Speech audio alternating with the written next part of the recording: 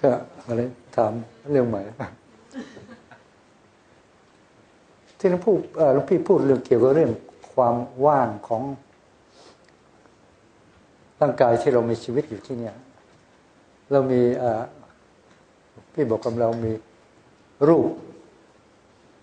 เรามีจิต เรามีส่วนประกอบของจิตคือเจตสิกแล้วเรายังมีตัวรู้ แต่อีกฝ่ายหนึ่งเป็นสายฝ่ายดีคือพระนิพพานเนี่ย หลวงพ่อบอกหลวงพี่บอก สิ่งทั้งหลายเลยรูปของเราเนี่ยอีกหน่อยก็สลายไป จิตมันก็มันรูปสลายไป จิตมันก็ มันก็มีการเกิดดับเกิดดับ คือเอาสรุปแล้วว่ารูปเนี่ยยังมีการเกิดดับเกิดดับ แล้วก็นามจิตหรือส่วนประกอบของจิตเจตสิกเกิดดับ มันก็ว่างไปหมด นี่บางคนบอกว่าความว่างของฝ่ายเนี่ยที่โลกโลก โลกียธรรมเนี่ยเป็นความว่างแบบหยาบหยาบแต่ถ้ามาพูดถึงพระนิพพานเนี่ย ก็ว่างเหมือนกันมีแต่นามอย่างเดียว เป็นความว่าง แบบละเอียด แต่ว่าไม่มีเกิดดับ แต่โลกุตรธรรมมีเกิดดับขอโทษโลกียธรรมมีเกิดดับ แต่โลกุตรธรรมไม่เกิดดับ แล้วก็ว่าง แล้วก็ว่างแบบ ละเอียด แต่นี้ผมก็ยังคิดว่าไอ้ความว่างทั้งพระนิพพานกับโลกโลโลกียธรรมเนี่ยมันว่างเหมือนกัน แต่ทำไมเขาเรียกว่า ว่างแบบหยาบหยาบโลกุตรธรรมว่างแบบละเอียด มันว่างเหมือนกันทำไมต้องมีหยาบละเอียดล่ะครับ ผมไม่เข้าใจ พี่อธิบายได้ไหมครับ ได้ครับ เพราะว่าในโลกนี้มีของคู่กัน ถ้ามันไม่ไม่มีละเอียดมันก็ต้องไม่มีหยาบ มันเออมันมีหยาบเลยต้องมีละเอียดโลกมันโลกเป็นหยาบใช่ไหมไอ้ว่างอย่างนี้ไม่ทำอาหารว่างลงนะ อาหารว่างดีหน่อยเนาะได้กิน แต่พวกนี้ว่างแล้วไม่ได้กิน คือเรื่องของว่างเนี่ย ก็ถามว่าอะไรมันว่างมาว่าอะไรมันว่าง ที่เขาว่าว่างๆเนี่ยอะไรมันว่าง คือว่างจากร่างกายของเราไม่มีแต่โลกอาโลกียฌานก่อนอะไรที่เรียกว่าว่างมันว่างจากอะไร โลกียฌานก็เอารูปเนี่ยว่างเกิดเราก็สลายไปหมดไม่มีรูปร่าง แล้วก็จิตก็ยังมีแต่ว่าจิตยังเกิดดับเกิดดับจิตส่วนประกอบของจิตคือเจตสิกสองตัวเนี่ยยังเกิดดับเกิดดับเมื่อมันดับไปแล้วมันก็ว่าง แต่หลวงพี่ยังเพิ่มอีกตัวหนึ่งคือมีตัวรู้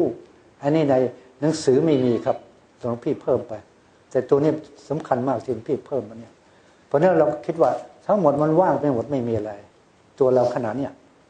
โลกก็เกิดดับโลกก็หลงก็เกิดดับแล้วคิดอย่างนั้นแล้วเราได้อะไร ก็ได้อะไรได้แล้วก็คุณหลวงพี่ก็บอกก็เป็นความว่างหมด แล้วไม่มีอะไรนะอย่าไปยึดมันนะ ก็ได้จากที่ว่าเราว่าง แล้วเมื่อว่างแล้วได้อะไร เมื่อว่างแล้วได้อะไรแล้วก็ มีความสุขครับ ต้องมีความสุขครับ ถ้าเราว่าง เราไม่ยึดถือ เอามันว่างแล้วหมอจะสุขตรงไหนอะคือเอางี้ครับ เราไม่มีเรามีตัวรู้อย่างเดียว แต่เราไม่ได้ไปคิดอะไรว่า โลกกระหลงไม่มีเราก็มีความสุขนิ่งแค่นั้นครับเอถ้าคุยอย่างนี้เดี๋ยวเธอก็คงไม่รู้เรื่อง เอาง่าย ๆ เลยนะจ บ ก็ง่ายไหมล่ะ ว่างเลย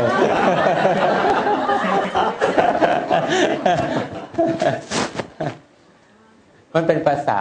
ก็ได้สมมุติบัญญัติ แต่ในทางปฏิบัติ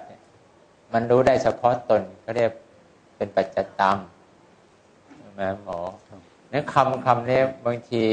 เขาอาจจะเอาไปใช้ในในเรื่องที่เขาเข้าใจว่าใช้อย่างนี้มันถูก แต่มันไม่ถูกกับสิ่งที่เป็นผลของการปฏิบัติ ก็อย่างที่หลวงพ่อท่านบอกนิพพานนำศูนย์ยังนิพพานมีสภาพว่างอย่างยิ่งเขาแปลกันอย่างนั้นนะแล้วพ่อเราพ่อก็ถามว่าอะไรมันว่างวะในที่เขาว่าว่างมันว่างจากอะไรก็มันว่างเปล่าไม่มีอะไรเลย ว่างเปล่า ศูนย์เปล่าว่าง สงบว่างเปล่า ไม่มีอะไรยุ่งกับใจเราว่างสมดเลย แล้วไม่รู้อะไรมันว่างเออแต่หลวงพ่อก็บอกว่าสิ่งที่มันว่างคือมันว่างจากกิเลสตัณหา อุปทานอกุศลกรรม หรือว่างจากสิ่งที่มันเล่าร้อนในจิตใจเราเนะ่ยคือความโลภความโกรธแล้วก็ความหลง อย่างนี้ใช่ไหมหมอครับอ่าอย่างเงี้ย คือท่านยังอธิบายให้ฟังได้ แต่คนอื่นมันอธิบายให้ฟังไม่ได้เพราะมันว่าง แล้วทำยังไงมันว่างจากสิ่งเหล่านี้ล่ะ อยู่ๆแล้วบอกมันไม่มีอะไรเลย แล้วสิ่งนี้มันจะหายไปมันเป็นไปได้ยังไง มันไม่หายไปเพราะการที่เราพูดว่า สิ่งนี้ไม่มีอะไรเหลือเลย สิ่งนี้เป็นความว่างเปล่า ทุกอย่างจึงว่างตามมันก็ไม่สามารถที่จะบอกเหตุบอกผล บอกที่มาที่ไปได้ถูกไหมหมออ่านั้นถ้าเราจะเราพูดถึงการปฏิบัติ ถ้าการปฏิบัติมันก็ต้องเป็นเป็นขั้นเป็นตอนมาตั้งแต่จิตของเราอยู่ในฐานะที่พร้อมที่จะสงบพอจิตของเราสงบมันก็ปราศจากสิ่งที่รบกวนให้เราคิดไปในทางทางอื่น นอกจากว่าเรากำลังหาคำตอบอย่างใดอย่างหนึ่ง เพื่อการเพื่อการเข้าถึง เช่นเราต้องการหาคำตอบว่าทำไมเราจึงมีความทุกข์มันทุกข์เพราะอะไร แต่คำตอบของเราคิดไปคิดมาก็คิดไม่ออกไม่เหมือนคำ คำตอบที่พระพุทธเจ้าทรงตอบแล้วว่าที่เราทุกทุกวันนี้มันเพราะว่าเราเนะี่ยมันมีความอยาก แล้วก็หลงไปว่า ไอ้นี่เป็นเรา ร่างกายเป็นเรา ไอ้นี่เป็นของของเรา ไอ้นี่มีในเรา เรามีในในสิ่งนั้นสิ่งนี้นะ แล้วก็มองคิดว่าถ้าเราฟังเพียงเท่านี้แล้วเราจะหลุดปั๊บไม่มีอะไรเหลือเลย จิตเราสบาย มันคงเป็นไปไม่ได้ มันก็ต้องคิดอะ คิดว่ามันใช่เราไม่ใช่ของเรา มันไม่มีในเรามันเราไม่มีในมัน มันไม่มีอย่างไหนทำไมมันจึงว่าไม่มี คิดอีก ถ้าเราคิดไปตามลำดับเราไปเรื่อยๆเรื่อยๆอย่างเนี้ย แล้วมันจุดหนึ่งคือมันว่าง ว่างอะไร ว่างสิ่งที่เราเคยคิด เพราะเราคิดหมดแล้วเลยเลยไม่ต้องคิด อันดับแรกคือว่างจากความคิดที่เคยคิดก่อนหน้านี้ คือคิดจากความฟุ้งซ่าน คิดจากการหาเหตุหาผล คิดจากการหาความตอบของเราที่เราต้องการจะตอบใจเราเราให้ได้ จนเราไม่ต้องหาคำตอบอะไรต่อไปแล้ว มันก็ว่างไปแล้วว่างอันนี้คือว่างอันดับแรกนะหมอพอใจเรามันว่างเปล่าในสิ่งที่ไม่ต้องกวนใจเราที่ต้องหาคำตอบต่อไปแล้ว เราก็รู้สึกว่ามันโล่งมันสบายไอ้ความสบายไม่ใช่มันไม่มีความคิด มันก็มีความคิด แต่ในความที่มันคิดมันไม่ได้คิดเพื่อการไปเกาะ แต่ก่อนนี้เราคิดเพราะเรายังไปเกาะสิ่งนั้นสิ่งนี้ว่ามันมีอยู่ มันจะเป็นของเราอยู่ มันทำให้เรามีความสุขอยู่ มันยังรู้สึกว่าเราต้องการอยากได้มันอยู่มันมี แต่เราพอพิจารณาไปจนจบสิ้นแล้ว ไม่มีอะไรต้องคิดต่อ แล้วเราก็หยุดว่างคือว่างจากความคิดหาเหตุหาผลให้จไม่ดีนะเราเคยคิดก่อนหาคำตอบ คือเราต้องหาเหตุหาผลถูกไหมล่ะ ว่าทำไมมันเป็นอย่างนั้นว่าทำไมไม่ใช่ตัวเราล่ะทำไมไม่ใช่ของของเรา เออถ้ามันตายมันก็ไม่ใช่ตัวเราตรงไหนวะก็นี่มันเนื้อหนังบางสายเราอาศัยยังเจ็บอยู่นี่ว่า เราก็ค่อยๆไล่ไปเรื่อยๆระหว่างเนี้ยระหว่างที่เราคิดหาเหตุหาผลหาความจริงมาคอยหักล้างสิ่งที่เราต้องการได้คำตอบ จนมันถึงที่สุดนะ จะนานเท่าไหร่ก็ช่างเถอะ แต่ว่ามันถึงที่สุดของมันแล้ว แล้วมันไม่มีเรื่องต้องคิดอีก ราะไม่รู้จะหาคำตอบไปเพื่ออะไร มันคำตอบทั้งหมดมันจบลงตรงที่ว่าเราหมดสงสัยแล้วว่านี่ไม่ใช่เรา นี่ไม่ใช่ของของเรา เราไม่มีในมัน มันไม่มีในเรา รูปเวทนาสัญญาสังขารวิญญาณไม่ใช่เรา มันเป็นเพียงสิ่งที่เกิดขึ้นตั้งอยู่ไม่นานแล้วดับเกิดดับเกิดดับ อย่างนั้นหมอทั้งรูปทั้งนาม เป็นไปตามกฎของธรรมดาคือเกิดแล้วต้องดับเกิดแล้วต้องดับ ถ้ามันไม่เกิดมันไม่ดับ เราก็ไม่ต้องมีความรู้สึกอะไรกับมันเลย ทีนี้มันมีเกิดมีดับเราจึงรู้สึกพอเรารู้สึกปั๊บมันก็มีการจดจำมันก็มีความคิดปรุงแต่ง มีความคิดอยากได้ มีความคิดยึดถือ มีความคิดสร้างสิ่งที่เป็นอกุศล มีจิตที่เศร้าหมองเมื่อสูญนี้สิ่งเหล่านี้มันสูญหายหรือว่ามันกำลังอยู่กับเราแล้วเราไม่อยากให้มันสูญหายไป มันก็อย่างเศร้าหมองในกิเลสตัณหาอุปทานอกุศลกรรมมันจึงเกิดขึ้น ในระหว่างที่เรายังมองเห็นสิ่งนี้มันมีเกิดแล้วก็มีดับ และเรายังยังอยู่ในโลกของมัน โดยเราไม่ถอดถอนตัวเราออกมาจากสิ่งนี้ ว่าไอ้รูปเวทนาสัญญาและสังขารวิญญาณเหล่านี้เมื่อก่อนเราไม่ได้คิดว่ามันไม่ใช่เราไม่ใช่ของเรา เราก็เลยเกิดอารมณ์สี่อารมณ์ขึ้นมาคือกิเลสตัณหาอุปทาน แล้วก็อกุศลกรรมแล้วตอนเราถอดถอนว่านี่ไม่ใช่กูว่ะนี่ไม่ใช่เรื่องของกู นี่เป็นสิ่งที่เกิดดับ สัญญาเกิดดับ เวทนาเกิดดับ รูปเกิดดับ สังขารเกิดดับวิญญาณเกิดดับทุกอย่างมีการเกิดการดับการเกิดการดับ เป็นอยู่อย่างนั้นที่มาอยู่ในใจเราที่เรียกว่าเจตสิกมีการเกิดแล้วก็มีการดับ รูปทั้งนามก็มีการเกิดแล้วก็การดับ ทั้งหมดที่มาอยู่ในใจของเรา มีเรื่องเกิดมีเรื่องดับถูกไหมหมอครับมันมีเรื่องที่เกิดมันมีเรื่องที่ดับ แต่เราจริง ๆ คือจิตที่มันไม่เคยมีเรื่องที่เกิด และไม่มีเรื่องที่ดับ แต่สิ่งที่มันมีเกิด แล้วมันมีดับ มันเกิดขึ้นจากภายหลัง เมื่อจิตของเราเริ่มที่จะเคลื่อนตัวไป สัมผัสแล้วก็รับรู้สิ่งที่เป็นภายนอกครับถูกไหมเราหมอ มันจึงมีเรื่องที่เกิดขึ้น มีเรื่องที่ดับลงไป แล้วก็เกิดขึ้นแล้วก็ดับลงไป จนกลายเป็นเจตสิกเกิดสิ่งต่างๆ มากมาย อาจจะเป็นทั้งอุปนิสัยใจคอ ทั้งจริตทั้งทั้งหมด มันก็อยู่ทั้งหมดแหละรวมความแล้วหมอ ถ้าเราจะให้มีคำตอบถึงที่สุดโดยไม่ มีอะไรต้องคิดอีก จนถึงคำว่าว่างนะหมอนะครับคือไม่มีเรื่องจะคิดอีกแล้ว เรื่องคิดที่หาความจริงอีกไม่มีเรื่องหาคำตอบว่าอะไรใช่เราไม่ใช่ของเราไม่มีมันหมดสิ้นคำว่าสงสัย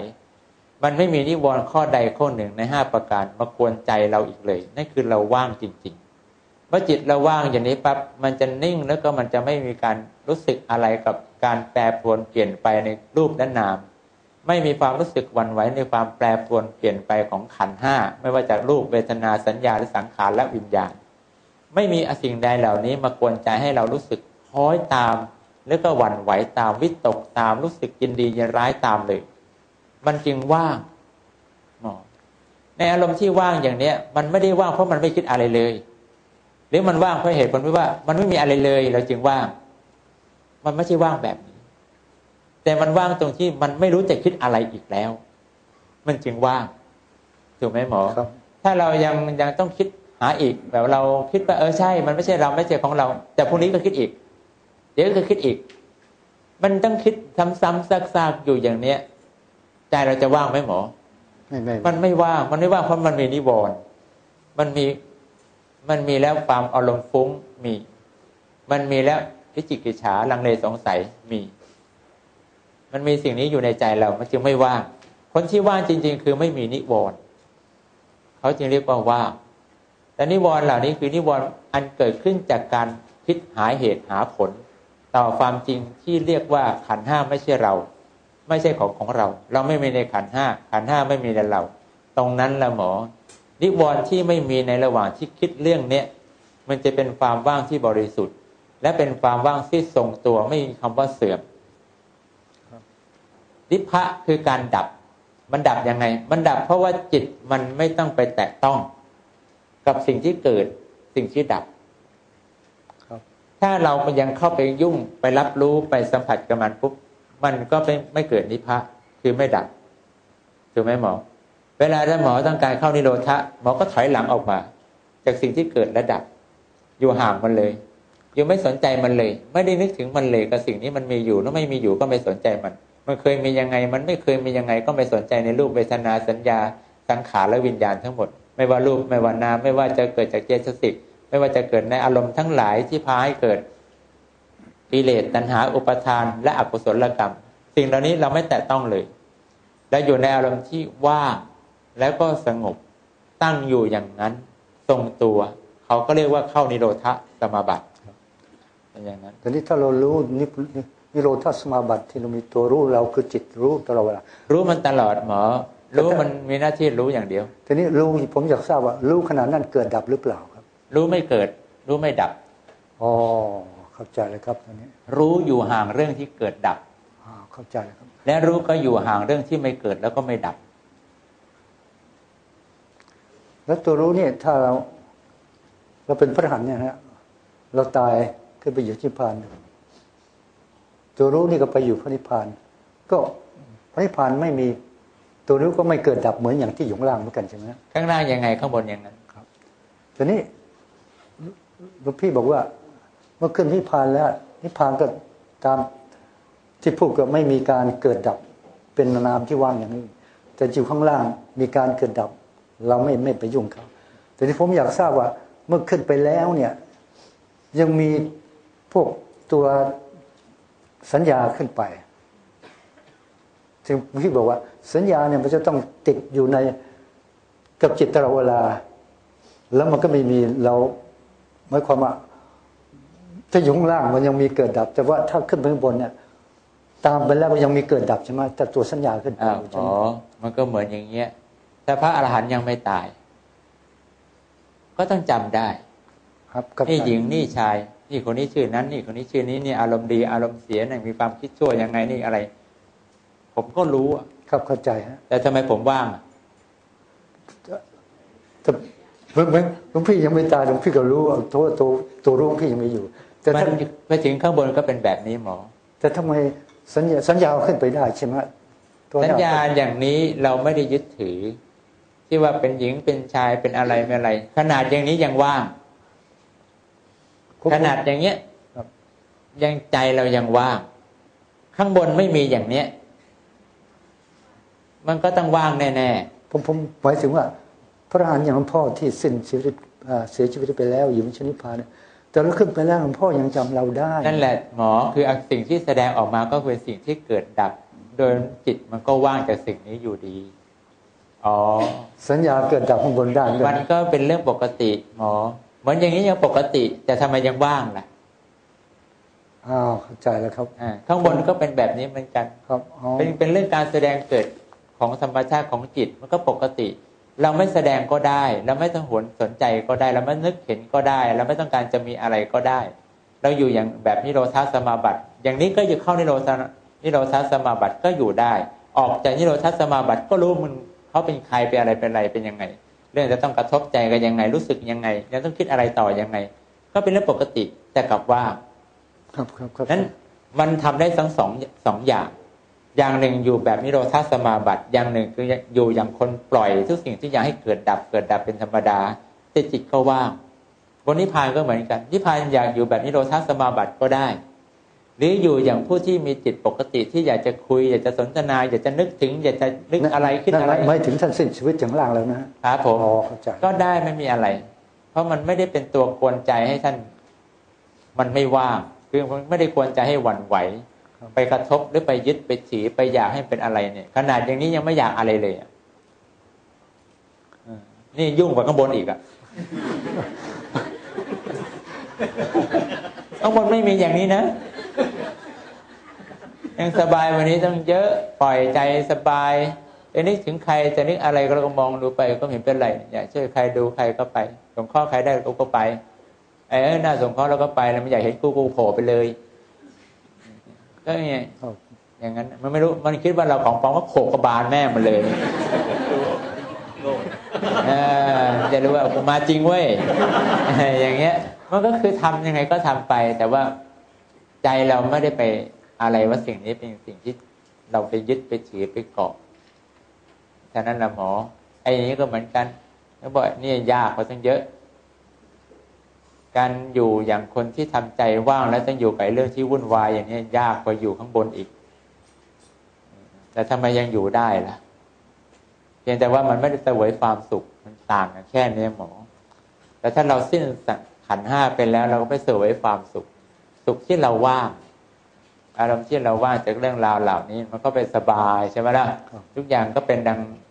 โดยที่เราไม่ต้องนึกทำอะไรมันก็ปรากฏได้ปรากฏได้แล้วไม่ต้องการเราก็เข้านิโรธสมาบัติไปซะสรุปแล้วผมก็เข้าใจตอนนี้วันนี้พี่ครับ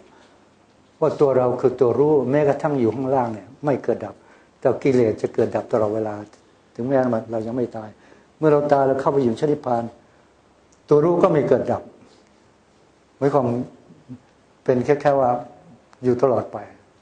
ผมผมผมเข้าใจเนี่ยฮะอย่างนั้นนะหมอ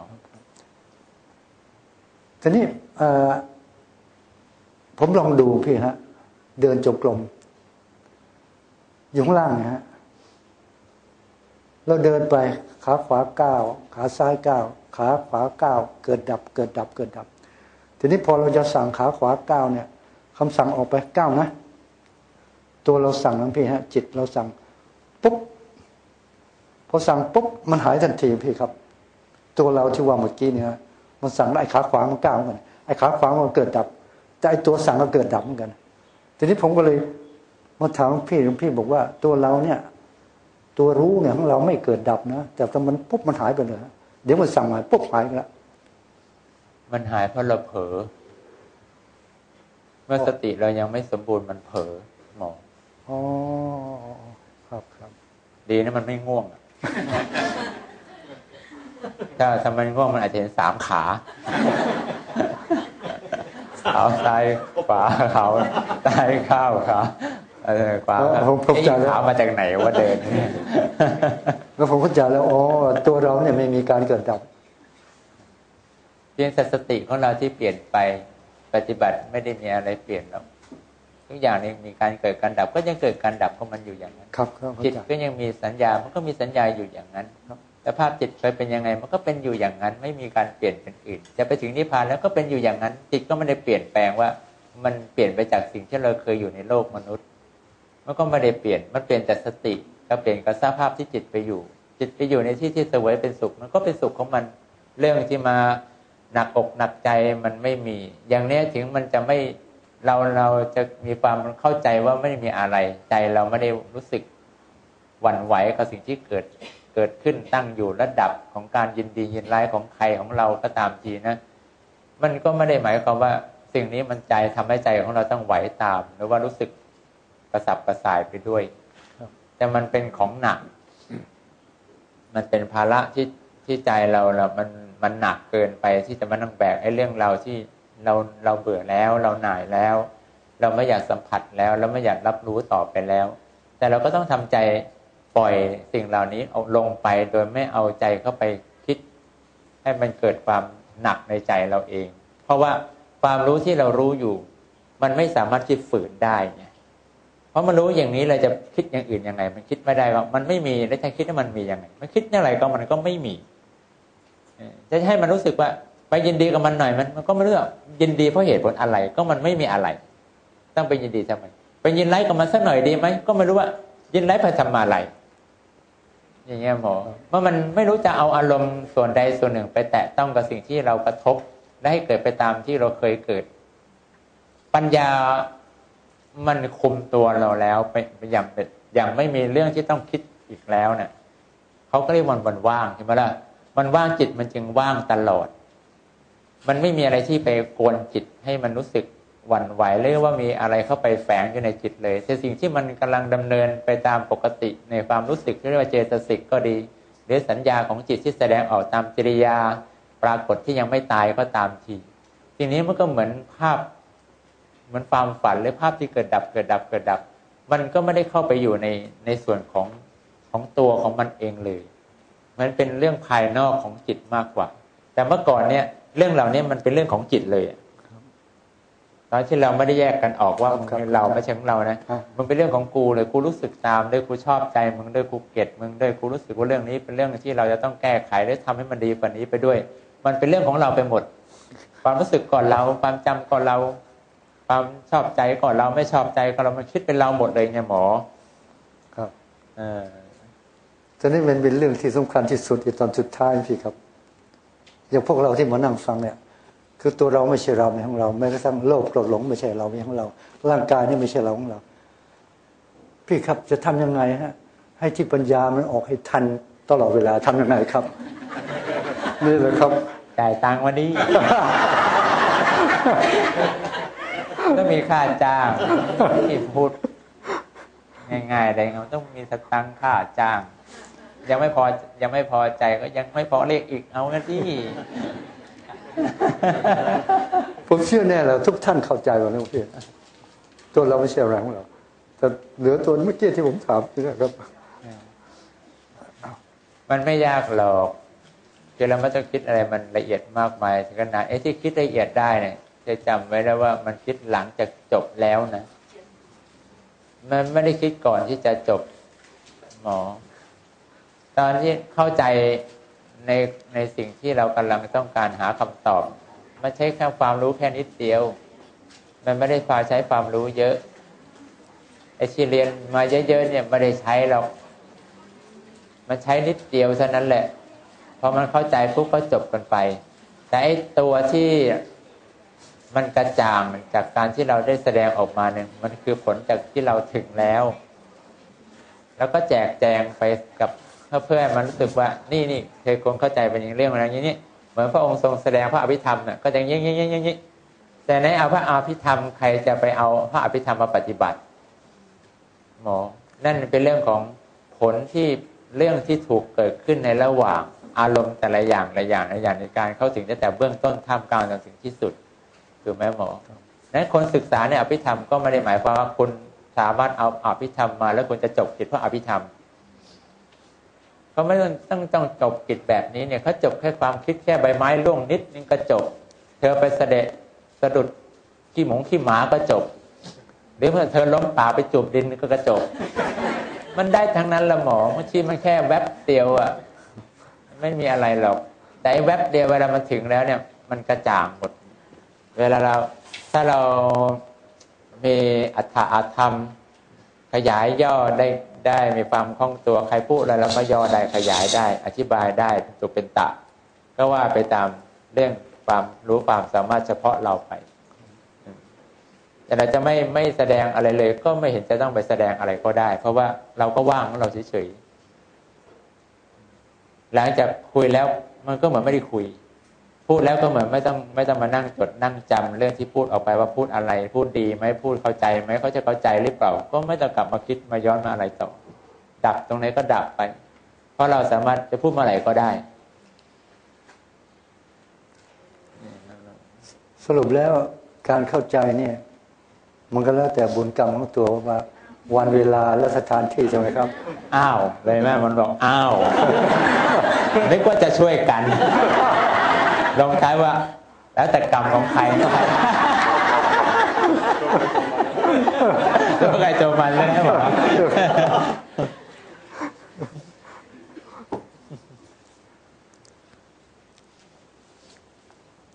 ไม่ยากหรอก อย่าไปกังวล ยากมันอยู่ที่เราไม่คิดที่จะละไปจากโลกใบนี้ อันนี้ยาก แต่เราคิดว่าโลกใบนี้เราไม่อยากกลับมาแล้วเนี่ยง่ายเธอไม่ต้องไปกังวลเรื่องการเข้าถึงโลกนะ ขอให้เธอมีความรู้สึกว่าโลกใบนี้เราจะไม่กลับมาเหยียบ แล้วไม่ได้มาเหยียบ เพราะว่าใครมาสอนให้เราไม่เหยียบ แต่เราไม่อยากเหยียบเอง เพราะว่ามันเจ็บเหลือเกิน มันทรมานเหลือเกิน มันทุกข์เหลือเกิน แล้วไม่อยากจะมารับรู้กับเรื่องของโลกใบนี้อีกต่อไปแล้ว ร่างกายก็ไม่เอาแล้ว ใครจะว่าดียังไงกูก็ไม่กลับมาเกิดแล้ว เธอแน่วแน่กับความคิดของเธออย่างนี้ไหมล่ะถ้าเธอแน่วแน่ของเธอเป็นอารมณ์เดียว เธอไม่ต้องห่วงเลยในการเข้าถึงมรรคถึงผล เวลาไหนเธอก็ได้ ถ้ามาถึงเวลาของมันมันก็ได้ของมันหมอ แต่ถ้าเราไม่มีความความรู้สึกนึกคิดอย่างที่พูดมาเลยนะ มันยาก มันยากมากที่เราจะไปถึงมรรคผลที่สุดได้ เพราะว่าเรายังรักเรายังพอใจเรายังชอบ มันไม่มีทางเลยที่จะหนีออกจากโลกนี้ไปได้ยังไง ถูกไหมเธอก็ต้องมีความจิตอกจิตใจอย่างใดอย่างหนึ่งไม่จิตในผลของทาน ก็จิตในผลของภาวนาไม่จิตของผลภาวนาเธอก็จิตของผลของบุญเธอก็ต้องจิตอย่างใดอย่างหนึ่ง ที่เธอคิดว่ามันยังดีสำหรับเธออยู่แต่ถ้าเธอคิดว่าไม่ทางนั้นแหละ เราทำทานก็เพื่อไม่อยากกลับมาเกิด เรารักษาศีลก็เพื่อไม่เราอยู่อย่างคนมีทุกข์เราภาวนาก็เพื่อให้เราไม่โง่ เราไม่ได้ทำเพื่อมันเป็นอะไร ถูกไหมหมอเราทำทานเนี่ย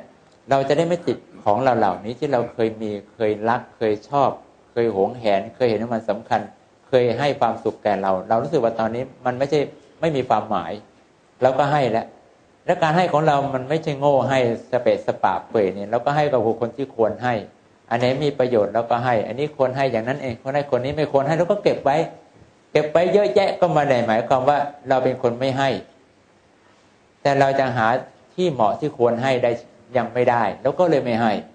นั่นก็ประการหนึ่ง ประการสองเรารักษาสิ่งก็เพื่อว่าเราเนี่ยจะได้หนี หนีอกุศลกรรมได้ เพราะพอเรามีศีลปั๊บเราก็อยู่เป็นสุขได้พอมีศีลเราก็ไม่ขัดข้องในลาบสการะเพราะเรายังไม่ตาย เรามีศีลแล้วก็ยังสามารถจะทำให้เกิดปัญญา ดับความทุกข์ในใจของเราได้ไม่ยาก เพราะว่ามันเป็นพื้นฐานถูกไหมถ้าเราไม่มีศีลซะเลย ไอ้การที่จะหนีโลกนี้ไปก็หนียาก เพราะว่าอากุศลกรรมมีกำลังมาก เราไม่มีอะไรเป็นตัวคอยปะทะไว้บ้าง หรือว่าจัดการไม่ให้มันลุกล้ำเข้ามาในใจของเราจนเกินไป ต่อให้เธอจะตั้งใจอยากไปนิพพานอยากไปนิพพานแต่เธอสิ่งของเธอก็ยังไม่สามารถเป็นกำแพงปกป้องใจเธอได้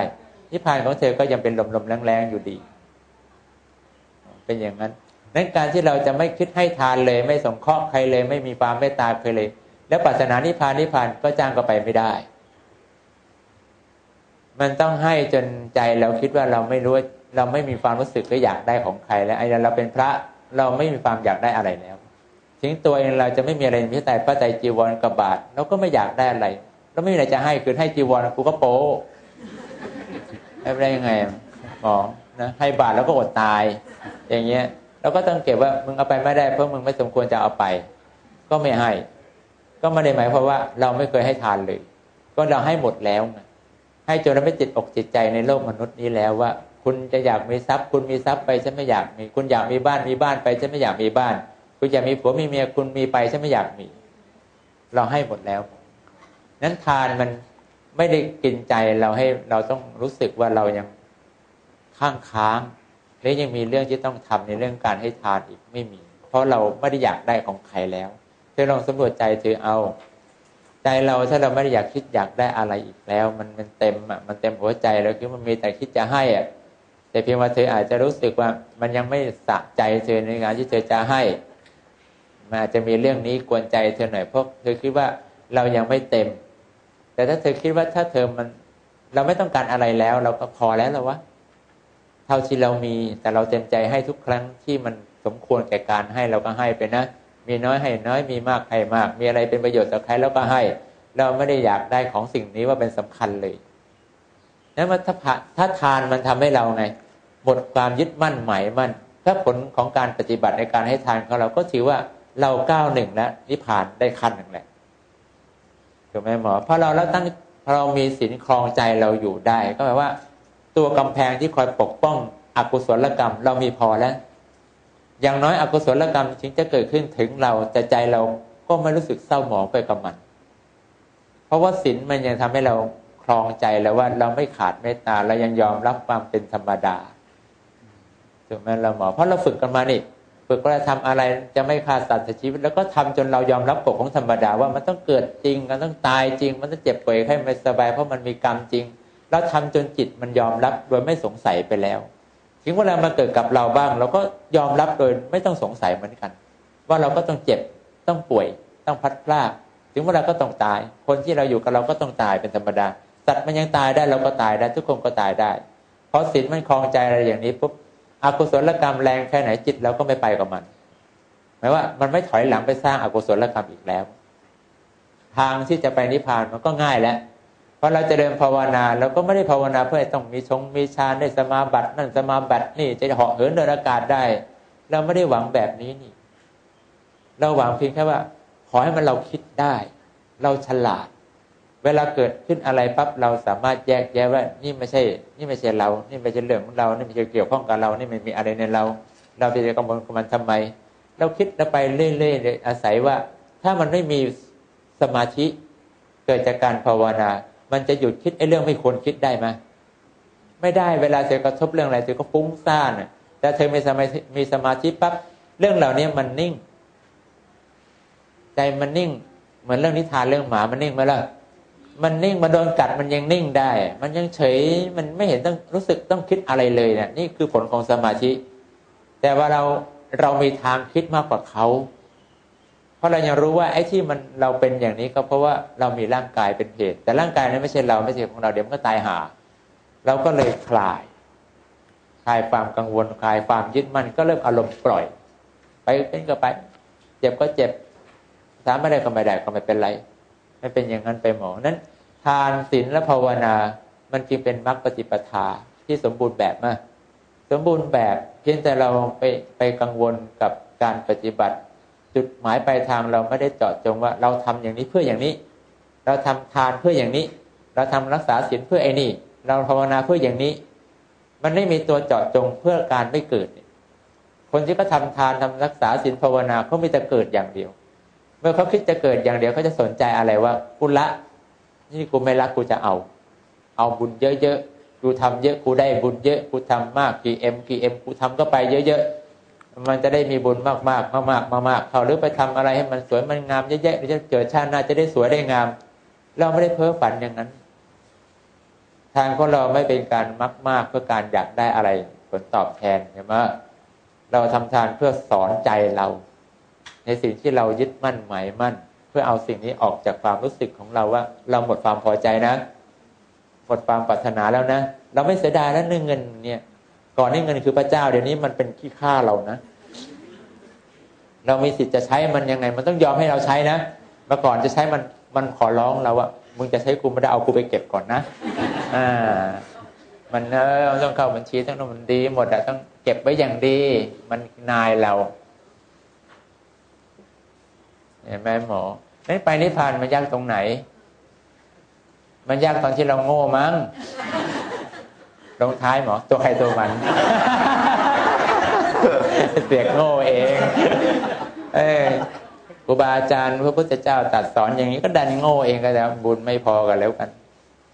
ไม่เห็นจะไปคิดให้มันยากเกินไป ตรงไปตรงมานะไปนิพพานไม่ยากหรอกขออย่างนี้ถึงเราจะมีทานมีศีลมีภาวนา ทั้งหมดเนี่ยมารวมตรงที่ว่าเราไม่อยากเกิด ไม่ได้มีปัญหาอย่างอื่น เรื่องใจเรานะทำเพื่อการไม่เกิดอย่างเดียวทั้งทานก็ไม่เกิดศีลก็ไม่เกิดภาวนาก็ไม่ต้องการเกิดทำยังไงก็ได้เพื่อการให้มันไม่เกิดให้ได้ก็แล้วกันพอเช้าสายบ่ายค่ำมันจะหนีเราไปไหน ถึงเวลาเธอก็ต้องถึงอรัตผลจนได้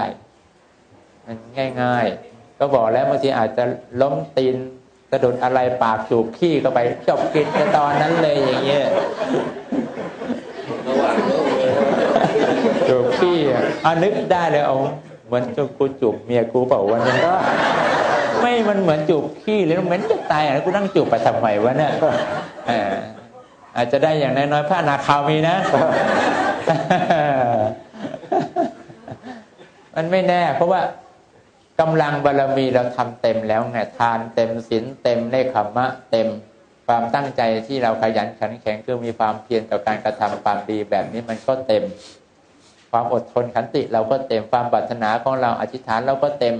เรามีจิตจะเมตตาอย่างเดียวเราไม่ต้องการของใครเลยเราก็เต็มอุเบกขาเราก็ยังมีใจที่ไม่ฝืนกฎของความเป็นจริง ตั้งแต่เรารักษาศีลแล้วแล้วก็มีแล้วจนเราค่อยๆ ยอมรับกฎของธรรมดามากขึ้น จิตตอนนี้ไม่ต้องการอะไร ถ้ามาสะดุดอย่างที่ว่าขึ้นมากูก็เต็มทันทีจบกิจตังยอดขาดหมอ ลองดูนะ องลองลองหาขี้สักก้อนใหญ่ ๆ วาง เช้ามืดแล้วก็เตรียมแผนเลยนะ เดินมากลางกับดักสะดุดต้มปากจุบปุ๊บ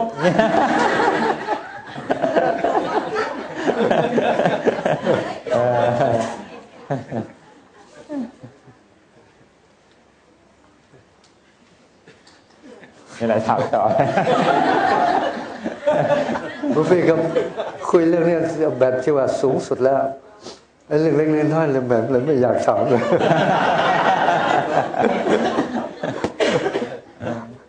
ไม่ยากหรอกพ่อสอนเราก็ไม่ได้ยาก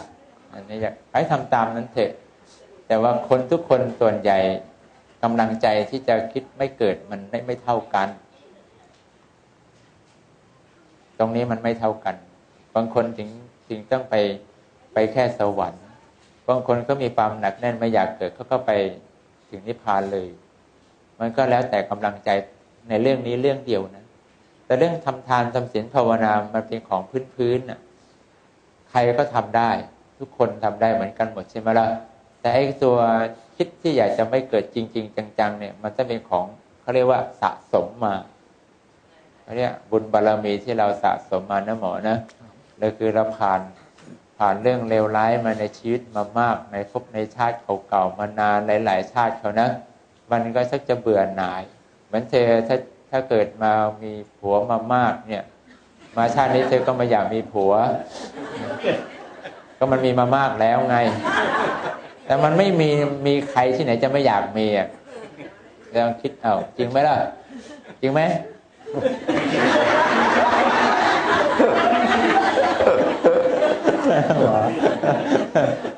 เอ๊ะยากแล้วโดยธรรมชาติทุกคนมันจะต้องมีจนเบื่อ จนหน่าย จนน่ารังเกียจจนจนแบบสะอิดสะเอียนเจออะไรมาเยอะไม่ได้ชีวิตนะมันเจอสิ่งที่มันเลวร้ายในชีวิตมาเยอะ อาจจะถูกเขาเตะทุกชาติ ทุกชาติทุกชาติอย่างเงี้ยโอ้กูไม่เอาแล้วชาตินะกูไม่มีแล้วหัวช้ำมันก็ยังไม่พอเรา มันต้องมากกว่านี้ มากกว่านี้ มากจนเราคิดจิตเราเริ่มมีความสุขกับการอยู่คนเดียวได้เราจึงปรารถนาการอยู่คนเดียวเป็นสุขนั่นจึงจะไม่มีนั้นคนที่ไม่มีชาติเนี้ยก็ต้องพูดว่า เรามันเจอเรื่องเหล่านี้มาช่ำชองมากมายเหลือเกินแล้วถามกูกูมีมาจนเบื่อแล้วมึงยังน้อยกว่ากูเยอะมึงต้องมีกันอยู่เนี่ย คุยบ้างดูนะเอเลยครับเลยโถเองยังไม่พอกันใช่ไหมล่ะ ถ้าเรามีจนเอียนแล้วล่ะท่านี้ก็เลยไม่มีไงละเว้ยไม่ใช่กูหาไม่ได้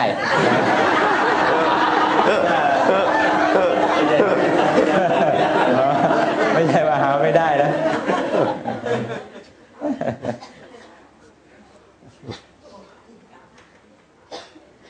นั่นมันเป็นของที่ต้องสะสมมาไหม มันต้องสะสมทุกมันต้องสะสมมามากอะจนเราอยากจะหนีทุกข์กลัวการมีทุกข์คำพูดของเราทุกคนเนี่ยมันไม่ใช่ว่าพูดกันเล่นๆ แต่เราอยากจะไปนิพพานนิพพานนิพพานไม่ใช่ของเล่นเลย มันเป็นของที่มันเราคิดแล้ว ที่เราตัดสินใจอย่างนี้เพราะเราก็คิดพิจารณาแล้วว่า มันไม่มีอะไรเป็นสุขจริงเช่นนั้นนะ แต่ว่า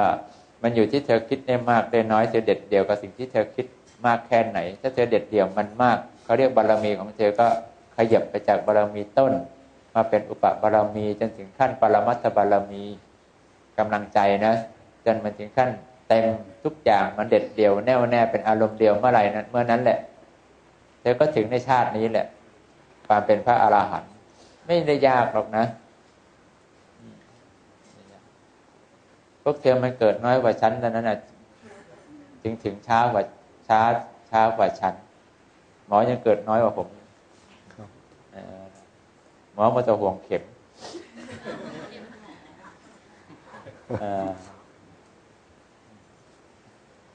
แต่ว่ามันเกิดเยอะเกิดมาบ่อย เกิดมากๆเขาเราก็เรียนรู้ในเรื่องของการเกิดมาเยอะฉันเดี๋ยวฉันก็ลง เพราะฉันไม่ชอบอยู่ข้างบนไม่รู้ทำอะไร มันไม่มีอะไรทำนะหมอมันจะอยู่ทำไมเออไม่เอาไม่ชอบอยู่เฉยๆอยู่เฉยๆแล้วมันรู้สึกลำคาญ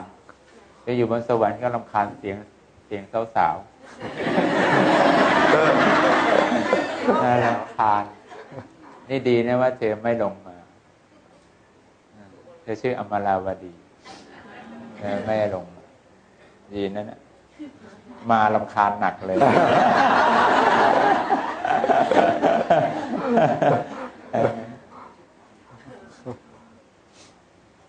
เออ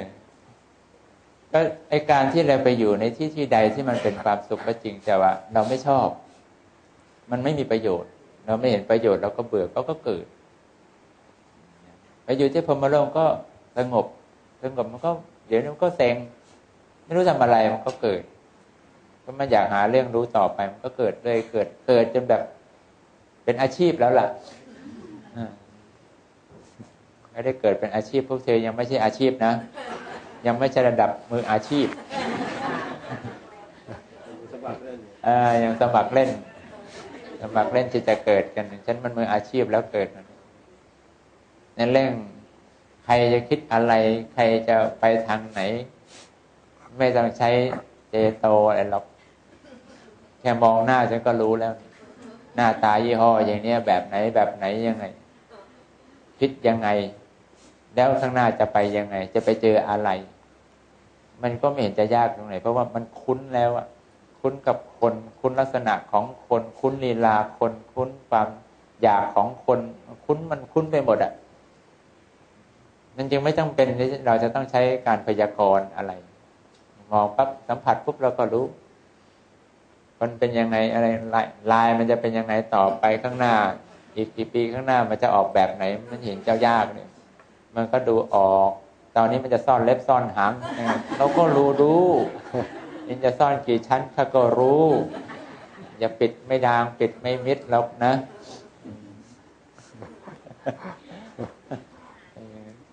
คือมันเห็นมาเยอะ เราเรียนรู้อย่างนี้เรากระทบมาเยอะเห็นมาเยอะ เพราะว่าเราเป็นคนไม่ค่อยคิดอะไรก่อนเมื่อไม่คิดอะไรก่อนแล้วก็ได้รับมาเต็มๆมันนี่เหมือนเราเป็นคนคิด แล้วคนคิดเราก็ต้องตั้งท่าระวัง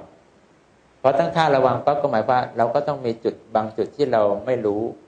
เพราะเราไม่สนใจ แต่ถ้าเราเปิด เราไม่ได้คิดจะระวังเรื่องของใคร ไม่ได้วางเรื่องอะไรเราเรารับมาทั้งหมด เราก็รู้ละเอียด แต่การรับมาแบบนี้ ถ้าเราเป็นคนที่อดทนไม่พอเราก็นิ่งไม่ได้ แล้วก็ทนต่อสิ่งต่าง ๆ ที่มันมาถึงเราอย่างเทเข้ามาอย่างเงี้ย เราคงรับไม่ไหวฉันมันเป็นอย่างนั้นฉันก็เปิดเปิดฉันก็ไปอย่างคนที่ไม่มีอะไรกับใครเขาก่อนมันเหมือนกับคนที่โง่ก็ได้ หรือว่าซื่อเซ่อก็ได้ หรือว่าไม่รู้เท่าทันคนก็ได้ คนก็หลอกง่ายก็ได้ แต่ฉันไม่ได้สนใจว่าใครจะหลอกฉัน ฉันสนใจว่าคนเหล่านี้กำลังทำอะไร ความจริงที่เขาเป็นอยู่กับสิ่งที่เป็นของที่คนอื่นเขาเห็นมันต่างกันยังไงนั้นวันใดวันหนึ่งความจริงก็ต้องปรากฏให้เราได้เห็นจนได้ ฉันเป็นคนเฝ้าดูเฉยๆ ฉันไม่เข้าไปก้าวไก่ในสิ่งที่เขาเป็น ว่าคุณจะเป็นยังไงมาก่อน ฉันจะไปหักห้ามเธอไหมไปแก้ไขในความเป็นเธอฉันไม่แก้ไข แต่ฉันจะปล่อยเป็นปกติ คุณจะเป็นยังไงคุณก็เป็นของคุณไป เราอาจจะโดนเรื่องของคุณ แต่เราก็อดทนต่อสิ่งที่คุณทำต่อเรา เพราะเราไม่ได้รู้สึกว่าเราต้องไปต่อต้านหรือว่าอดทนเพื่ออะไร เพียงต้องการจะรู้ว่าคนเหล่านี้จริง ๆเขาเป็นยังไงเหมือนถ้าเราเป็นผ้าขาวๆนะหมอเราไปห่อเขาจะขาวบริจุดเราไปห่อไว้เสร็จเดี๋ยวมันซึมออกมานานๆเข้ามันดุร้อนๆเข้าหนึ่งก็ซึมออกมาก็เปิดผ้าขาว ก็รู้อ๋อ นี่ข้างในนี่มันมีสีมันก็เห็น แต่ถ้าเราเป็นคนที่ไม่ใช่เป็นผ้าขาว เราจะไม่เห็นในบางบางเรื่อง เห็นมันบางเรื่อง ก็จะรู้คนไม่ครบทุกอย่างทุกด้านว่างั้นสิคือนิสัยฉันนะที่ฉันเกิดมาเป็นแบบนี้เหมือน ถ้าดูภายนอกก็เหมือนว่าเราเป็นคนอะไรโดนเขาหลอกง่าย โดนเชื่อง่าย เป็นคนที่ทำให้เราเจ็บตัวง่าย แต่เปล่าหรอกฉันไม่ได้มีสภาพที่เหมือนกับการคิดที่คนอื่นเขาคิดกัน ฉันต้องการจะศึกษาคนศึกษาสิ่งที่เป็นความจริงของคนไม่ใช่ของซ่อนเล้น เนื้อหาจะเขาจะซ่อนเล้นหนาขนาดไหนวันหนึ่งเขาต้องแสดงออกมาจนได้ เพราะว่าเราเราไม่มีอะไรนั้นฉันอยู่ที่ไหน ฉันไม่เคย ไม่เคยเป็นตัวศัตรูกับใครอุปมาเหมือนมันเต่าอะ เต่ามันไม่เป็นกับใครเขาเข้ามาพี่เล่าเรื่องอดีตใช่ไหมเนี่ยเปล่าอ๋อ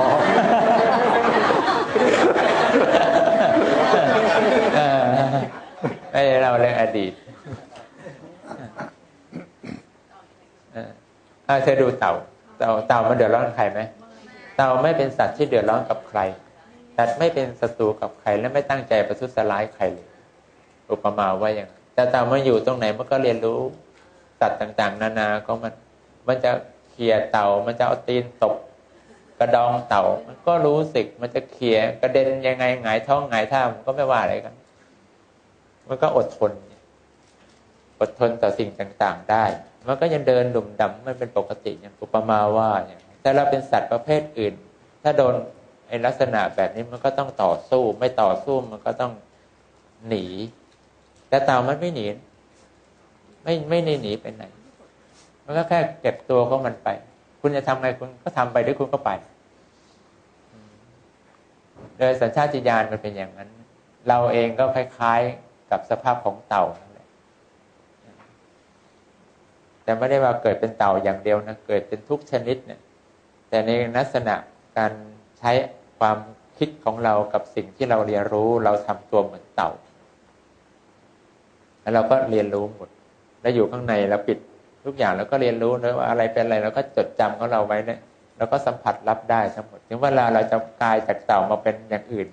เราก็ใช้ความรู้ของเราได้อย่างเต็มที่นั้นเราจริง ๆทำไมท่านจึงเกิดมาก นี่ไม่เล่าอดีตนะพูดว่าทำไมจึงเกิดมากไอ้ที่เกิดมาเพราะว่ามันอยากรู้ ไม่มีอย่างอื่น มันอยากรู้แล้วกับอยากช่วยสองอย่าง เรื่องอย่างอย่างอื่นไม่มีในในในนิสัย แค่นั้นแหละขอขอเข้ามาผมขอครับถามได้ไหมฮะครับ เมื่ออดีตชาติหลวงพี่อยากรู้เนี่ยอย่างนั้นเราอยากจะแต่งงานคนเนี่ยหลวงพี่อยู่เขาได้ปีสองปีหลวงพี่ก็เลิกไปเปลี่ยนใหม่ใช่ไหมหรือไงดูต่อไปเรื่อยไออยากรู้ประเภทนี้ไม่อยากรู้แล้วอ๋อครับ ผมไม่ได้เปลี่ยนเขาเปลี่ยนแต่ผมไม่เปลี่ยนผมไม่มีเปลี่ยนใคร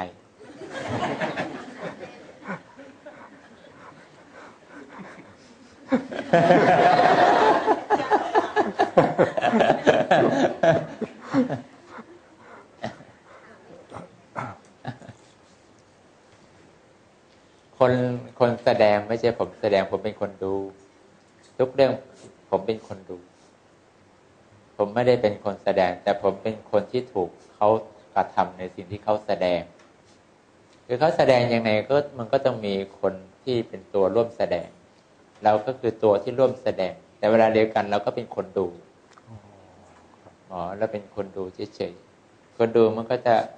รู้เรื่องราวต่างๆ แต่เราไม่ได้อดทน เพราะว่าเราเราไปกังวลกับสิ่งที่เขาแสดง เราอดทนต่อสิ่งที่เราอยากรู้ เราจึงทนได้ มันทนคนละเรื่องเพราะเราต้องการเรียนรู้เราก็ต้องทนใช่ไหมล่ะทนอยู่เพื่อการรู้เนี่ยเราก็ต้องทนมันไป แต่ถ้าให้เราอดทน เพราะว่าคนเร็วๆแล้วตั้งหน้าอดทนไม่ใช่ เราไม่ได้ต้องการไปทนกับคนเลวเขาจะเลวขนาดไหนจะแย่จะยังไง เดี๋ยวแกก็เป็นไปตามของแกเอง เราไม่ต้องไปทำอะไรเนี่ยแต่เราจะรู้ว่า คนเนี่ยมันเปลี่ยนแปลงได้เพราะเหตุอะไร จากดีมาร้ายอะ อะไรเขาคิดอะไร แล้วจริตแบบเนี้ยมันจึงคิดอย่างนี้ ถ้าจริตแบบนี้จะคิดแบบนี้ไหมมันมีเยอะมากหมอในเรื่องของจิตใจของคนที่มันซับซ้อน แสดงนอกอย่างในอย่าง แสดงความจริงแล้วก็หลอกลวงกับสิ่งที่เป็นจริงก็มี มันมากมายอะเพียงแต่เราไม่อยากเข้าไปเข้าไปรับรู้เพื่อจะจัดการสิ่งใด ๆ ให้มันเปลี่ยนแปลงหรอกนะ เรารับรู้เพื่อการศึกษา พอเรารู้แล้วเราก็ไม่สนใจที่จะรู้ต่อเอย่างนั้นนะหมอนั้นไม่ว่าจริตแบบไหนฉันเจอมาหมดจริตอย่างนี้คิดอะไรจริตอย่างนี้หนทางของเขาคิดแบบนี้ แล้วถ้าเจอเรื่องแบบนี้เขาจะเป็นยังไงต่อไป เราก็มองภาพมันออก คนดูมันได้เปรียบเราไม่ได้เป็นคนแสดงคือตั้งใจแสดงแต่ว่ามันต้องมีส่วนร่วมอยู่ในตัวเขาแสดง เพื่อให้มันเป็นธรรมชาติทุกอย่างเป็นปกติ เป็นอย่างนั้นแหละโอ้ลูกลูกพี่จำได้โดยไม่ต้องมีการบันทึกเลยไม่ต้องบันทึกอ๋อไม่ต้องบันทึกเลย เพราะว่ามันเป็นสิ่งที่เราค้นหาเรา มันเป็นการจดจำโดยโดยธรรมดา มันนี่เหมือนเราแค่ศึกษาที่ต้องการเพียงแค่รู้เฉยๆแต่นี่เรารู้เพื่อการค้นหาความจริงอ๋อมันเป็นความจริงอย่างนี้ จิตมันเป็นอย่างนี้มันถึงดิดดิ้นออกจากความทุกข์ความเดือดร้อนกันไม่ได้พอเรามองปั๊บเราก็รู้ อย่างเรามองไอ้นวลเราก็รู้ว่ามันเป็นยังไง อดีตมันเป็นยังไง อนาคตมันจะเป็นยังไงต่อไป ปัจจุบันทำไมมันแสดงแบบนี้ เราก็รู้มันเป็นเพราะอะไร มันทำกรรมอะไรมาอย่างไง มันถึงเป็นแบบนี้ เพราะมันเป็นทางนะทางของคนคนหนึ่งมันจะมีเรื่องประกอบมากมาย ในทางของคนประเภทหนึ่ง คนประเภทหนึ่งก็เป็นทางของมัน คนประเภทหนึ่งก็เป็นทางของมัน มันจะไปจบตรงตรงนั้นตรงนี้ตรงนู้นมันก็หนีทางไม่ได้ คนอย่างนี้ถึงจะเป็นพระพุทธเจ้าได้ คนแบบนี้ให้ทำไงก็เป็นไม่ได้ มันไม่ใช่ทางของเขา มันจะเป็นทางที่เป็นเฉพาะของคนที่ประเภทนี้เท่านั้น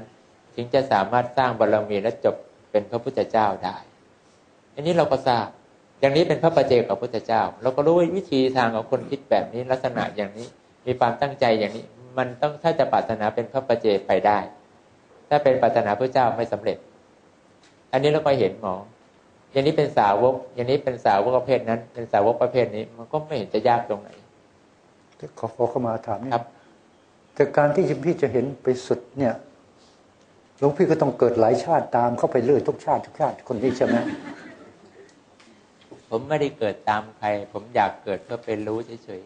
ไม่ชนเฉพาะชาตินั้นใช่ไหมฮะชาตินั้นก็อยากรู้เรื่องนี้ ชาตินี้ก็อยากรู้เรื่องนั้น ตอนนี้ถ้าชาตินี้เขาตายแล้วก็จะเป็นอย่างอื่นพี่จะก็ก็ไม่รู้ใช่ไหมก็ไม่สนใจจะไปไหนก็ไป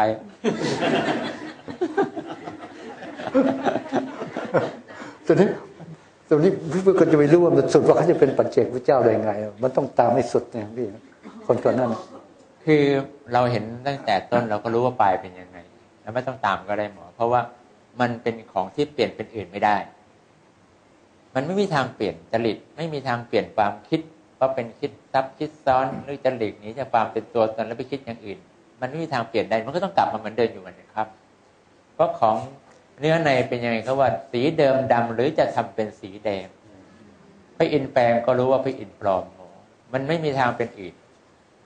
มันก็เป็นของแท้ดั้งเดิมเป็นยังไง ของปลายมันก็ต้องเป็นอย่างอย่างนั้นเราให้มันจะถูกเคลือบไว้ยังไงก็ตามเดี๋ยวมันก็แสดงของมันออกจนได้ เพราะมันมีเรื่องที่ต้องออกมา โอ้โหพี่พูดนี่มันจริตคนเนี่ย ถ้าเป็น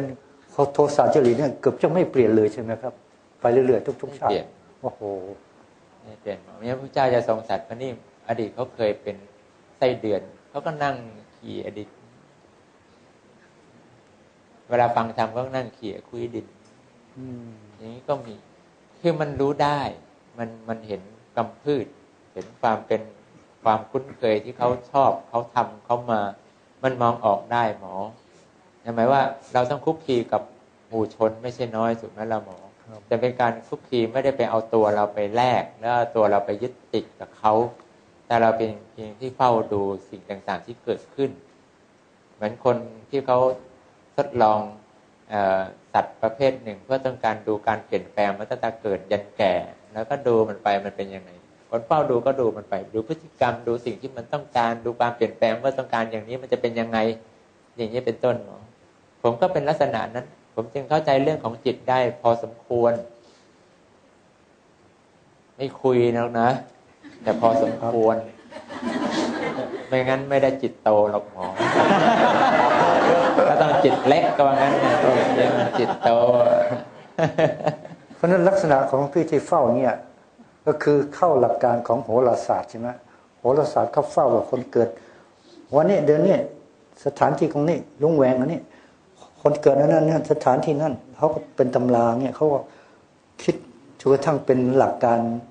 อ่าคนชำนาญในการศึกษาอย่างใดเขาก็ต้องเฝ้าเรียนรู้สิ่งนั้นแหละอ๋อมันเป็นเรื่องปกติครับครับ แต่ผมมันมันต้องการศึกษาเรื่องของจิตเนี่ยอ๋อผมก็เฝ้าดูเรื่องจิตอย่างเดียวเรื่องอื่นผมก็ไม่ดูมันหรอกครับครับ เข้าใจ แต่ตอนนี้ไม่ได้สนใจแล้วหรอกนะนั่นเมื่อก่อนเมื่อก่อนเราจะสนใจ เดี๋ยวนี้เราไม่สนใครยังไงเราก็ไม่สนใจ เพราะไอ้ที่มันเป็นอยู่ก็ไม่ใช่ตัวมันเราจะไปสนใจมันทำไมไอ้ที่มันเป็นของมันเปลี่ยนแปลงของมันเป็นอย่างนั้นอย่างนี้เยอะแยะมากมายที่ในเจตสิกของมันนะนะหมอครับมันก็ไม่เจอตัวมันอยู่ดีก็เลยขี้เกียจคิดต่อ เมื่อก่อนเรายังคิดว่าเป็นตัวมันไงครับครับเข้าใจตัวมันแล้วก็ต้องอ่าน อ่านเรื่องราวของเขาได้ว่าออกยังไงจะไปยังไง บางครั้งเราก็ถูกปิดบังด้วยอกุศล มันก็มีไม่ใช่ว่าเราอยู่ในเป็นมนุษย์เราจะอยู่เหนือเรามันอยู่เหนือมันไม่ได้ถูกไหมล่ะหมอครับมันก็มีช่วงเวลาที่เราโง่เราอาจจะนึกไม่ออกคิดไม่ได้ หรือไม่ได้คิดว่าเป็นอย่างที่เราเคยคิดเข้าใจ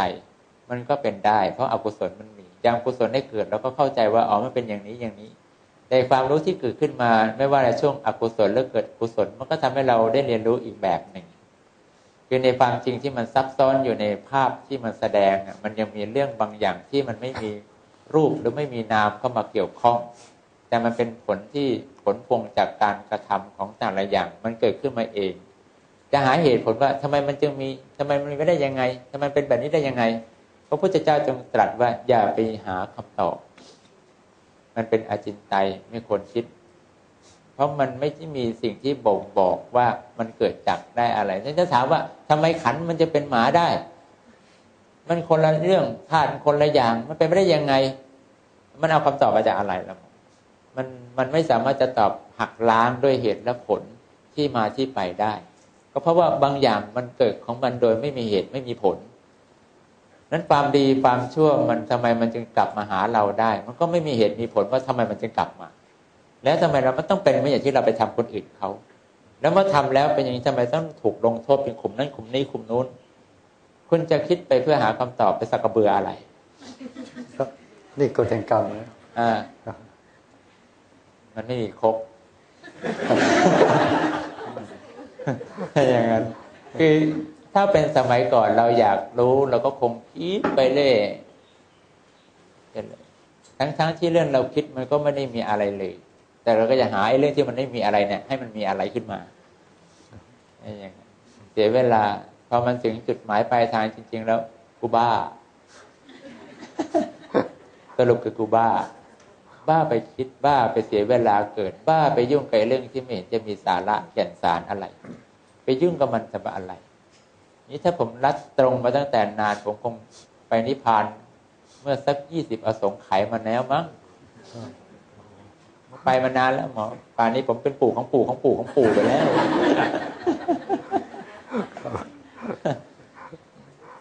แล้วไอ้ความที่เรามันไอ้อะไรมันเป็นตัวเรามากหน่อย สนใจแต่เรื่องที่เราอยากรู้มากเกินไปประโยชน์ เราก็ไม่ได้อะไรจากสิ่งที่เราได้มาแล้วนะ เพราะว่าอย่างที่จะรู้ยังไงว่าเธอเป็นอะไรฉันมองปั๊บหนั่นแต่เป็นแล้วรู้เป็นยังไง รู้ก็ไม่เห็นเป็นประโยชน์อะไร รู้ก็แก้ไขก็ไม่ได้ รู้ก็ไม่ได้ทำให้มันสิ่งมันเปลี่ยนแปลงไปยังไงรู้แล้วเราจะปกป้องก็ปกป้องไปทำอะไร มันหนีกรรมไม่ได้ ก็ไม่รู้จะรู้ไปทำอะไร แต่การรู้ก็เพื่อว่าบอกกับเธอนะ เธอเป็นอย่างนี้ไม่จะเป็นอย่างที่จะเป็นตอนนี้นะ ถ้าเป็นของเธออย่างนี้ เวลาเธอจะแก้ใจเธอ เธอต้องฝึกกรรมฐานแบบนี้ เพราะจริตของเธอจริง ๆ เธอเป็นแบบนี้ มันก็มีประโยชน์เพียงแค่นี้เท่าที่เห็นประโยชน์นอกนั้น ผมก็ไม่เห็นประโยชน์อะไรในการที่จะไปรู้มันเลย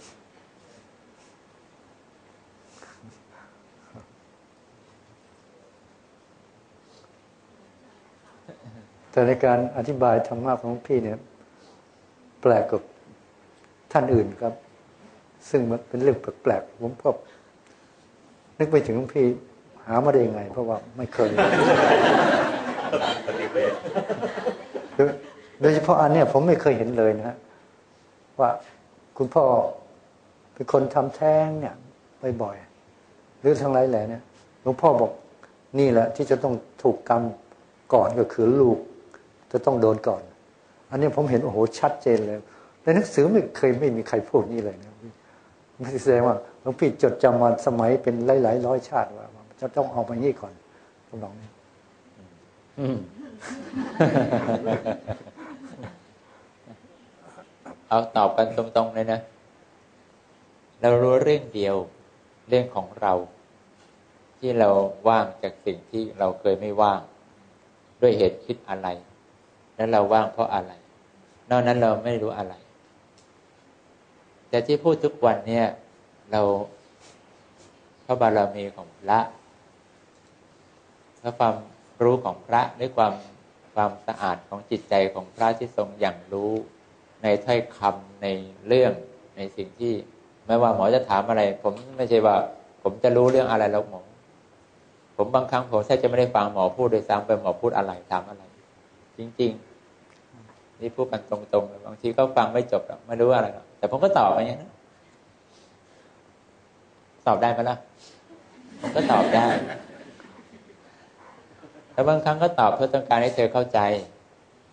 เดี๋ยวไม่ได้ต้องตอบเพื่อต้องการให้เข้าใจในสิ่งที่ท่านถาม จะตอบให้เธอเข้าใจว่าจะพูดให้เธอเข้าใจ ในสิ่งที่มันเป็นประโยชน์ อย่างเงี้ยคือว่าเรา เราไม่ได้สงสัยในในสิ่งที่เราจะแสดงออกในความรู้ที่ออกมาให้เธอได้ยินได้ฟัง เพราะเราเชื่อว่าความรู้แบบเนี้ยเราไม่มีในใจเรา เราไม่มีตำราเราไม่เคยรับรู้อะไรมา เราไม่ได้ไปจำจดจำใครเข้ามา เราไม่เคยผ่านการศึกษาไอ้เรื่องเหล่านี้แล้วมาพูดให้เธอฟัง มันไม่มีเลยนะยิดผมก็ไม่มี หลวงพ่อผมก็จำเฉพาะที่เป็นหลักหลักหลักหลักอย่างนี้เธอก็รู้เราก็รู้ แต่เราก็ไม่ได้พูดเรื่องแบบนี้มาให้เธอต้องฟังอีก นอกจากจะดึงมาเป็นเพื่อองค์ประกอบให้เธอทราบว่าเธอเคยเข้าใจอย่างนี้ แต่ความเข้าใจของเธอมันควรจะเข้าใจให้ลึกซึ้งกว่านี้ อันนี้ผมก็จะก็พูดไป แต่คำพูดต่างๆที่มันเรื่องเดียวกันแต่บางในบางวาระในบางเวลาก็คนละเรื่องคนละแบบทั้งทั้งก็พูดซ้ำๆไม่ได้พูดมากไปป่าศีลสมาธิปัญญาเราก็มีแค่นั้นแหละ จะมีอะไรนะหมอนะกรรมฐานก็มีอยู่แค่นั้นวนไปวนมาก็จะพูดสักกี่ครามก็หมด เอาตามจริงนะมันก็หมด แต่ที่มันไม่หมดก็เพราะว่าคำพูดบางคำมันมันไปถูกกับคนบางเช่นบางคนที่เขาฟังคำแบบเพศประเภทนี้แล้วแล้วเขาเข้าใจคำพูดบางประเภทมันมันเหมาะเฉพาะบางคนบางช่วง บางการเวลา ทั้งๆทที่เขาพูดเรื่องเดียวกัน แต่อธิบายกันแบบอาจจะพลิกหักมุมกันหน่อย แล้วว่าอีกแง่มุมการคิดการพูดเป็นหน่อยก็แล้วแต่ แต่นี่เป็นเรื่องที่พระท่านดนใจเรานะ ฉันไม่ได้รู้อะไรจริง ๆ อันนี้เราต้องพูดตามจริง ความรู้เราไม่มีอะไรหรอกเรามีแต่สิ่งที่ทำให้เราว่างเพราะเรารู้ว่าสิ่งที่มันว่างคือความสุขของเรา โดยที่เราไม่ต้องมาไปกังวลกับอะไรที่เกิดเกิดขึ้นแล้วก็ดับเกิดแล้วก็ดับ เราก็อยู่ของเราเงียบๆเราจะเข้าเข้าไปสู่ในอารมณ์ที่เราว่าง แล้วก็ตั้ง ก็เข้าเลยแล้วถวายทานฉันก็เข้าฉันว่างฉันก็เข้า เข้าอะไรก็ไม่รู้ฉันก็เข้าของฉันไป เข้าที่ว่างๆฉันก็เข้าพักใจเราไป เพราะมันเป็นที่ที่เราไม่ต้องไปอะไร ไปคิดไปสนใจไปรับรู้กับสิ่งที่เกิดข้างนอกนะแล้วก็รับรู้กับเรื่องที่เราคิดของเราแล้วก็เข้าสู่ ความว่างของเราไปซะดับเรื่องภายนอกไปเสีย แต่หูเราไม่ได้ดับ ตาเราไม่ได้ดับ แต่เราดับทุกเรื่องที่มาถึงใจเรา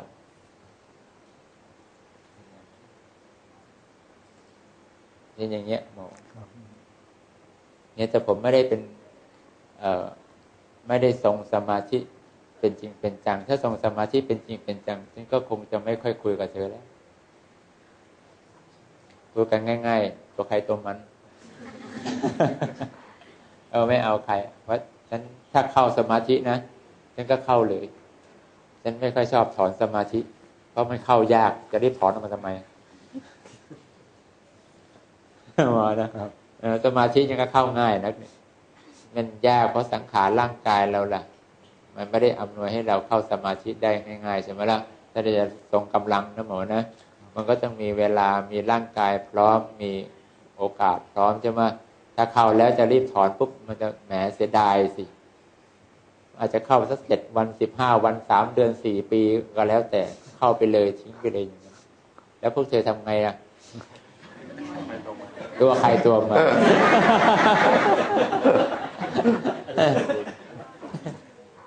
ที่ฉันเป็นคนชอบที่จะทำอย่างนี้อยู่แล้ว แต่ว่าก็ไม่ได้ทำ แต่ขืนทำก็ทำแบบนี้ไม่ได้เข้าใจวังแต่ฉันก็ยังใช้อยู่ เพียงไม่ได้ใช้ให้มันลึกมาก หรือไม่ได้เข้าสมาธิมันเกิน เกินที่มาอยู่ในจุดที่เราไม่อยากจะเอาอะไรกับใคร เอาเพียงพอให้เรารู้สึกได้ผ่อนใจบ้างสักอึกสองอึกก็ว่างไปพอมันผ่อนใจสบายก็ไม่มีอะไรหมอ ผมแนะนำให้มาละหมอจะได้เข้าง่ายบ้าง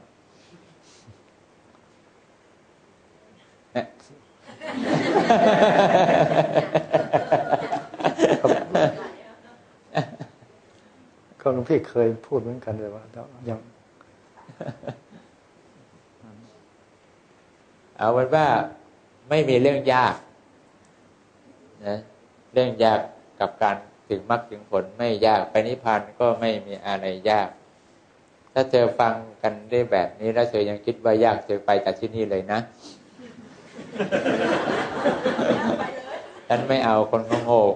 ที่เกียดเปลืองข้าวดีไหมหมอเดี๋ยวหลวงพ่อท่านเคยพูด แต่ฟังไม่รู้เรื่องออกจากวัดไปเลยเอาเวลาเอาฟังขนาดนี้ยังไม่ต้องมานั่งถามไม่ต้องมาแล้วไปเถอะเดี๋ยวว่าที่นี่เอาเฉพาะคนที่ไปนิพพานมันยังอยากเกิดไปที่อื่น หมอได้เคยยินมาแล้วเราไม่เคยยินหลวงพ่อพูดหลวงพ่อพูดงี้จริงๆพวกใครก็ตามที่คิดว่าอยากเกิดไม่ต้องมาหาฉันที่นี่ ฉันเอาเฉพาะคนที่ไปนิพพานพูดอย่างนี้คุยกับคนที่ไปนิพพานมันคุยง่าย เพราะว่าเราไม่ต้องมานั่งเผื่อคนไม่ไป ถ้าไปเผื่อคนไม่ไปเราก็ต้องถอยกำลังใจลงมา แต่พูดเรื่องนี้ก็หนักสำหรับเขาเราก็พูดไม่ได้เราก็ต้องผ่อนกำลังใจมาโอ้ถูกไหมล่ะหมอครับ แต่ถ้าพูดกับคนที่ไปนิพพานมันไม่ต้องผ่อนกำลังใจแล้ว อัดด้วยเต็มๆเลย ตายไปข้างเอออย่างนี้มันก็สบายคนพูดไงเพราะไม่หนัก พูดได้เต็มที่หน่อยรู้ไว้นะถ้าใครคิดว่า ยังไม่อยากไปนิพพานไม่ต้องมาบ้านสบายใจนะเดี๋ยวเขียนไว้ข้างนอกเลย ที่นี่รับคนจะไปนิพพานชาตินี้เท่านั้นดีไหมหมอครับครับครับ